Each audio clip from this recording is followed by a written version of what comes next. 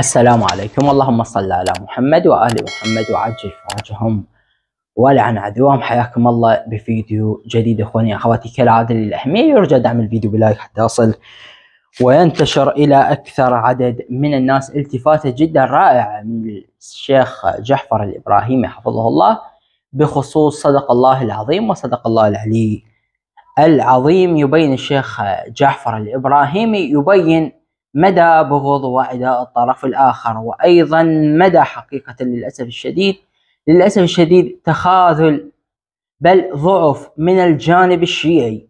عندما يقرأ صدق الله العلي العظيم يحذف العلي ويكتفي بصدق الله العظيم الكل يعرف إخواني أخواتي وكما سيبين الشيخ جعفر الإبراهيمي الكل يعرف فقط أقرأ القرآن.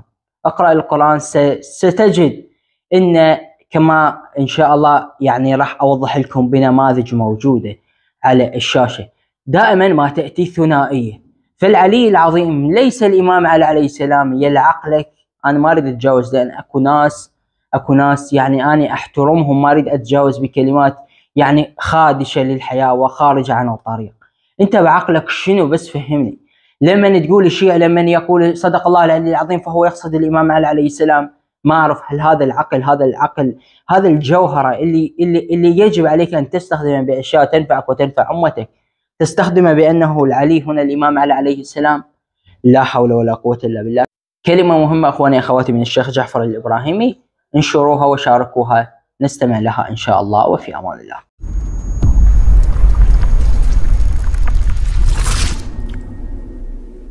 وأما أنت عندك مشكلة من علي أنا ما عندي. انت ملاحظ هسه من نقرأ القرآن الكريم الكثير من الأمة عندما يختتم القرآن شو يقول صدق الله العظيم مو شي؟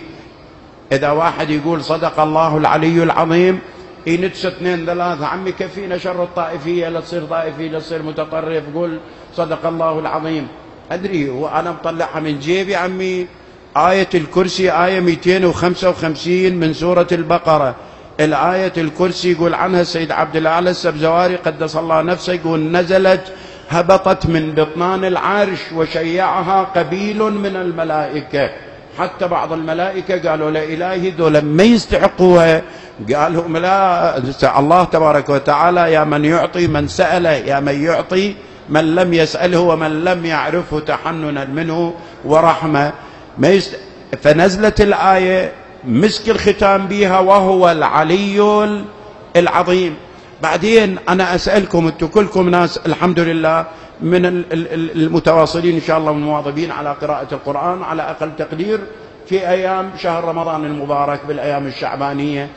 أرجوك هم تتذكر صفة لله؟ صفة نزلت بالمفرد. بل أعطيني آية فد يوم قالت وهو الحكيم وخلصت. مو؟ اكو فد يوم وهو العزيز وهو الرحيم. هم شفت فد يوم آية؟ لو كله بالثنائي. مو العزيز الرحيم العزيز الحكيم الودود الغفور. لازم ثنائية مثل ما بالآية وهو العلي العظيم. أنا أقول صدق الله العظيم. ليش بالمفرد هالعناد وهي القرآن؟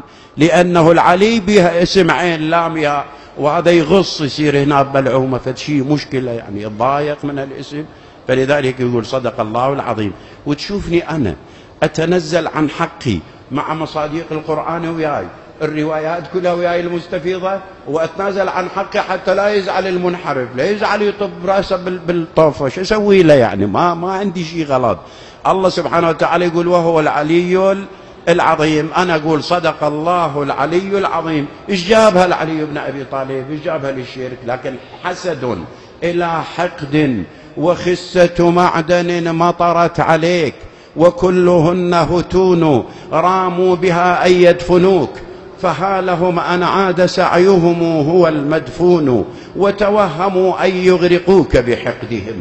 أتخاف من غرق وأنت سفين؟ ستظل تحسبك الكواكب كوكبا ويهز سمع الدهر منك رنين وتعيش من بعد الخلود دلالة في أن ما تهوى السماء يكون.